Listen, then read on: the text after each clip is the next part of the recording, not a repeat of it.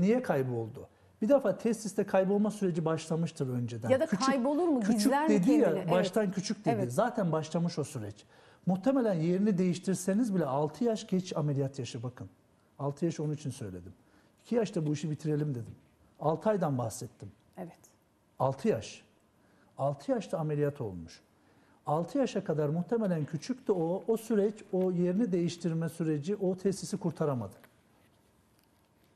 Her zaman kurtulacak Yaşın diye bir önemi kural yok. demek ki burada Çok önemli. tedavi aşamasında. O süreç devam etti. Evet. O tesisteki yıkım devam etti. Siz yerini değiştirseniz bile o yıkım devam etti ve tesis küçüldü, kayboldu.